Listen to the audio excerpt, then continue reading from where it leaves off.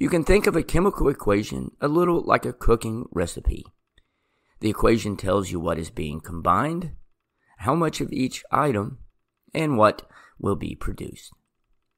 To begin with, the reactants will be found on the left of the arrow. This is what you're going to combine together.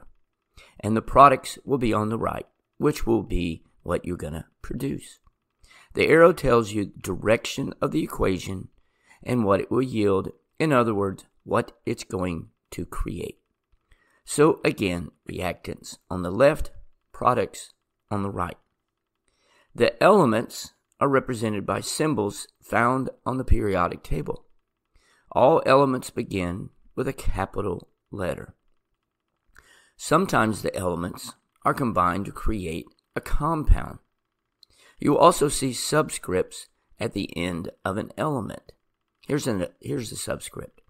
The subscript only applies to the element it is found behind. An equation may also contain coefficients, which are found in front of an element or compound.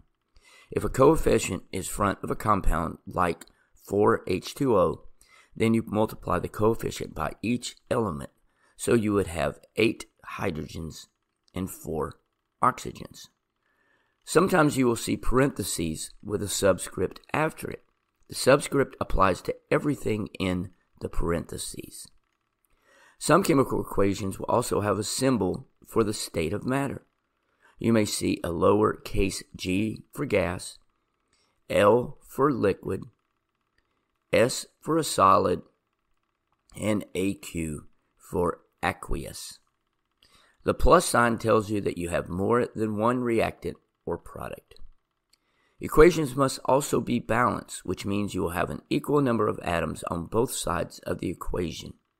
For example, consider this simple chemical reaction.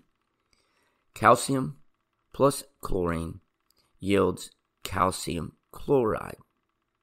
Notice that you have one calcium and two chlorine atoms on the left, and then the same numbers on the right, so it's balanced. Thanks for watching, and remember, kindness multiplies kindness. Be kind to someone today.